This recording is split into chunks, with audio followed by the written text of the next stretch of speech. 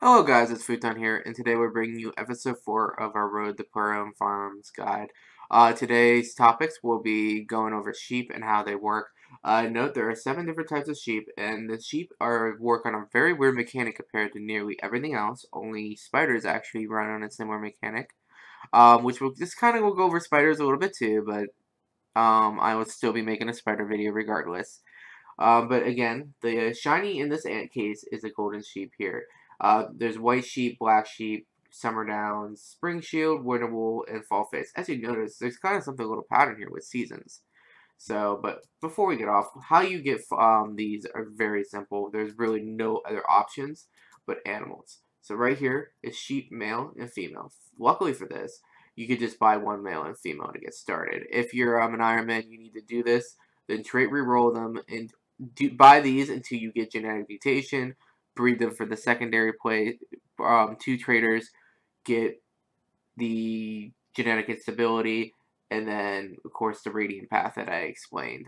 If you're an Ironman. Now note with this, um, it's plain and simple from there. But also for um, every account, you also need to buy the seasonalizer. This is also was used for the comp requirement beforehand, but it is actually very much required for these animals. So on screen, I'm going to be bringing up on how to do these different breeds because there's actually very time and um, season specific. Now note, if it is 9 a.m. to 9 p.m., you will be getting a black irie or um, a normal sheep. Now note, the animals are bred are actually born whenever you enter the farm. So what you could do is you literally could stop visit your farm for about a day, and then at 9 p.m. UTC, you literally could just teleport in the farm and you could breed the black sheep from there. It is very simple to do, and like I said, you just don't go to the farm for a while. Enough time to say the breeding pen definitely has something in it. So you literally teleport to the farm during that period, and then that's and it's more likely the black sheep will be born. Elsewise, it'll be the white. Though randomly you might get them all.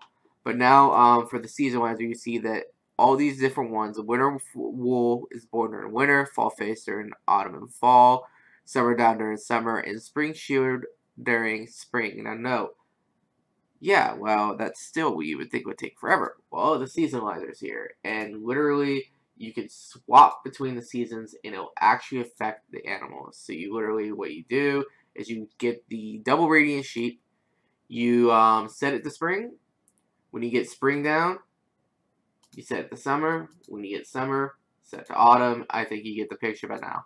These could literally be used to manipulate the sheep and um, spiders as well. Um, but we're just talking about sheep here to the seasons that you actually need.